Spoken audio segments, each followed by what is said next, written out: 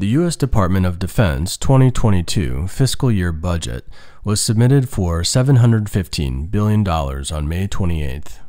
Communist China's defense budget in 2021 was roughly $210 billion.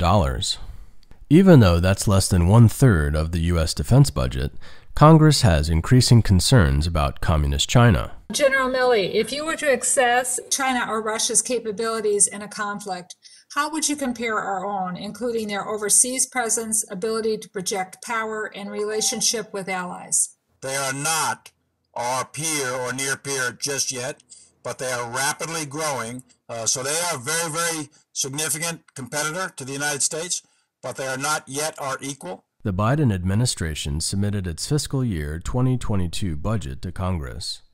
The national defense budget is $752.9 billion. Of that amount, $715 billion is for the Department of Defense, or DoD. For the Navy, Air Force, and Space Force, there are additional investments needed to address strategic competition with Communist China. General Mark Milley, the chairman of the Joint Chiefs of Staff, said the DoD will invest to strengthen advanced technologies. We're experiencing a change in the character of war where we have a variety of the very advanced technologies that are all converging in time and space over the next 10, 15 years. Those are hypersonics, precision munitions, robotics, artificial intelligence, and a wide variety of other technologies. China is investing heavily in all of those capabilities. But we need to uh, definitely do that. This budget does a lot of that. Uh, it'll have to be a sustained level of effort over many years, but it's critical to the defense of the United States that we invest in advanced technologies. I, I would say you're right. Uh, China is not yet our peer in worldwide uh, uh, military capability, but do they exceed our capability in the South China Sea?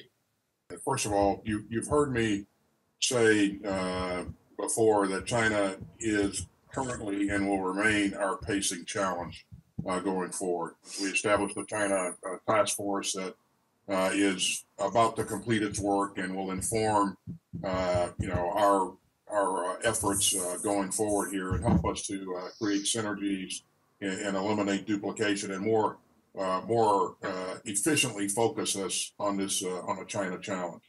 We will never seek to, to numbers are important, but we will never seek to match our adversaries one for one. We will always seek to uh, to develop a much greater capability, and and that's our approach. And I think we're on path to achieving that the U.S. invested $20.6 billion in space and space based systems, which included $1.8 billion to upgrade the GPS system.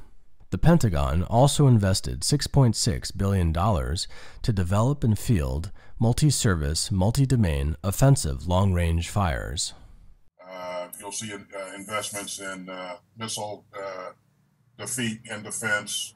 Uh, you'll see a significant investment in our in our naval forces, long range fires, as the chairman mentioned earlier, and probably uh, the largest ever request for uh, RDT&E for for uh, um, development of technologies.